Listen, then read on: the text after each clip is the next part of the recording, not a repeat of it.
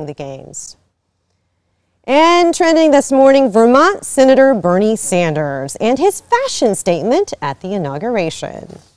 The original photograph shows Sanders in his folding chair wearing a big Burton brand parka and mittens.